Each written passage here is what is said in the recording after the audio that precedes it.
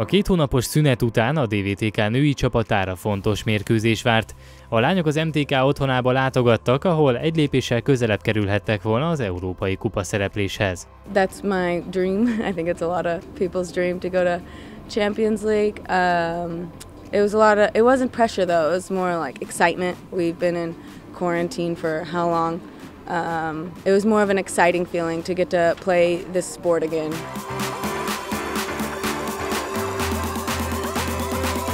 Az MTK együttese már a hatodik percben vezetést szerzett. A meccs számunkra nem indult jól, ezt tudjuk, ugyanis az első kapuról tartó fejesből volt kaptunk, viszont aztán egy szenzációs akcióval azt gondolom kiegyenlítettünk.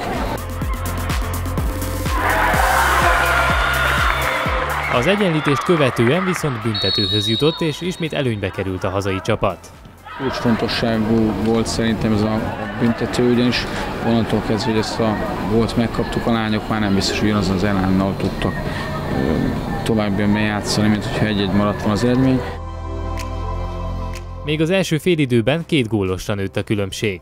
Én uh, szorosan mérkőzésre számítottam, és uh, én hittem abban, hogy győzni fogunk, mert nagyon sok munkát beletettünk, nagyon keményen dolgoztunk. Nekünk ez a, ez a vírus, ez a, ez a leállás sem volt leállás, hanem mi még keményebben dolgoztunk. Olá Adrien számára kifejezetten különleges volt ez a találkozó. A fiatal támadó ugyanis idén márciusban érkezett Diósgyőrbe, éppen az MTK csapatától.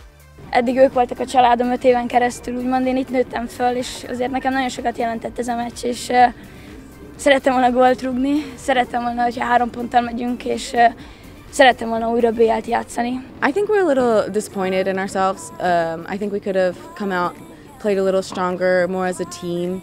Um, but you you live and you learn, so hopefully uh, better is yet to come.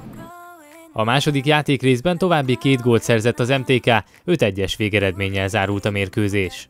Úgy gondolom, hogy igazából pontrugásokból kaptunk ki, nem hiszem azt, hogy jobban játszottak, mint mi. Uh, most sajnos ez így az ki, a sport az ilyen, mi szerintem felkészültünk, ahogy tudtunk, nem tudom, ez egy ilyen nap volt.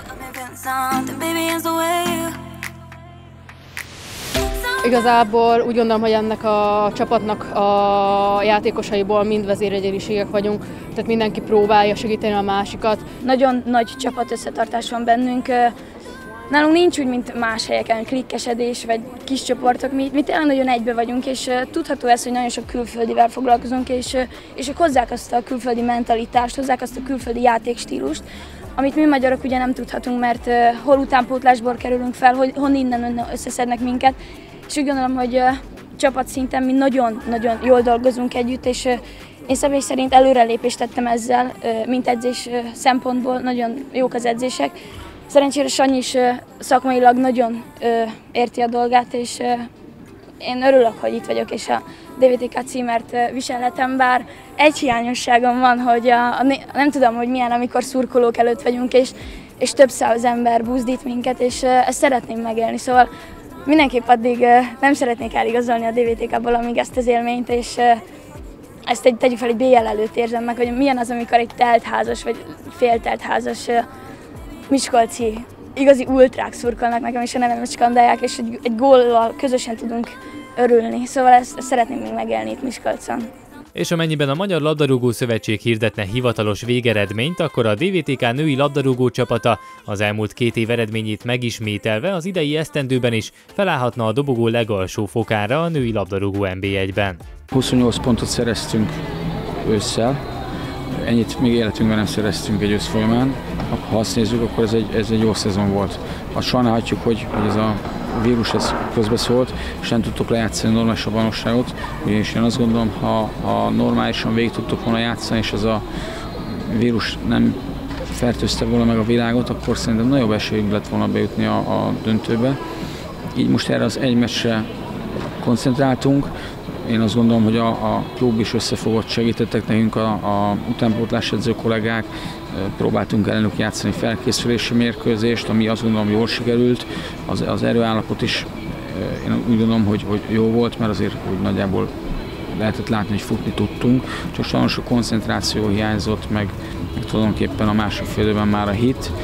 A, a gólunk után én azt gondolom, hogy mindenki elhitte azt, hogy, hogy, hogy ez sikerülhet. Hát sajnos ez a második gól, ez, azt gondolom, hogy ott megpecsételődött a sorsunk. Szomorkodni viszont nincsen idő, a csapat már a jövő évi célok elérésére készül. I know when the season starts again, uh, I hope at the same time um, we'll focus again, um, and I think we'll be hungry for um, a better result in the end. Most még edzeni fogunk, ugyanis nem szabad abba a dolgot, hogyha következő évben szeretnénk valamit elérni, akkor én azt gondolom, hogy most még minimum egy 10-12 napot edzünk, aztán lesz rá egy három hetes szünet, és akkor júliusban újra kezdjük.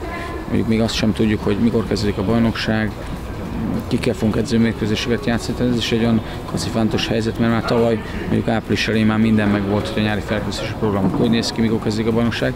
Azt gondolom, hogy most megint nehéz lesz felkészülni, de megpróbálunk jól felkészülni a bajnokságra, és próbálunk úgy szerepelni, mint hogy ősszel tettük, hogy megpróbálunk újra 28 pont közelében szerezni, és jövőre is az lesz a célunk, hogy bejussunk a bajnoki döntőbe.